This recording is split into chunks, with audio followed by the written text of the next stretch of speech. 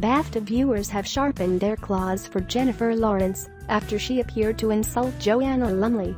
Fans were left fuming after the Red Sparrow actress Jen, 27, appeared to throw shade at national treasure Joanna, 71, as the show kicked off on Sunday evening.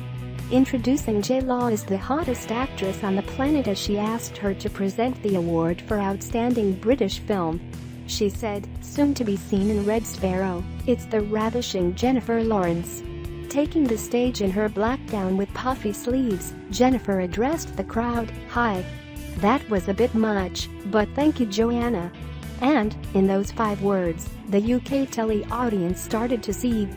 One fumed, never liked Jennifer Lawrence, and she was so rude to Joanna Lumley last night.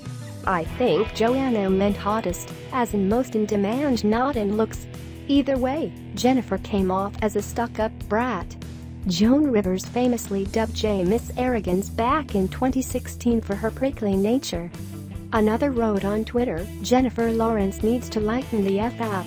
Joanna Lumley gave you a compliment calling you ravishing, and you knocked her back like a right stuck-up cow take the compliment. Jesus Christ. Ungrateful much. I'd love a compliment from Lumley. While one person simply asked, she's a national treasure, who even are you?